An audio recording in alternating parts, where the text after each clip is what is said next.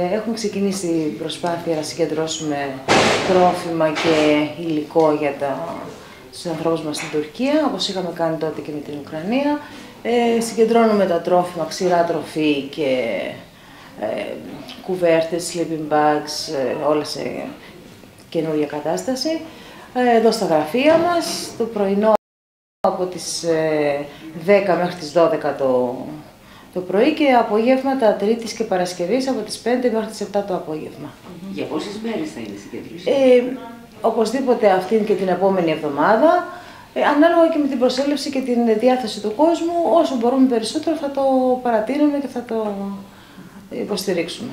Αυτά... Περιμένουμε και από, όχι μόνο από τον κόσμο και από συλλόγους και από, άλλες, από άλλους φορείς να μπορέσουμε να βοηθήσουμε στο περισσότερο. Αυτά τα είδη πώς θα φτάσουν στην uh, Τουρκία και τη Συρία, ε, Συγκεντρώνονται από τα διάφορα τοπικά ε, τμήματα, ε, πηγαίνουν στην Αθήνα στα κεντρικά του, του Ερυθρού Σταυρού και εκεί γίνονται φροντίζει για την ε, διαμονή και την αποστολή. Φαντάζομαι τον ίδιο τρόπο που έχει γίνει και πριν από μήνες για την Ουκρανία.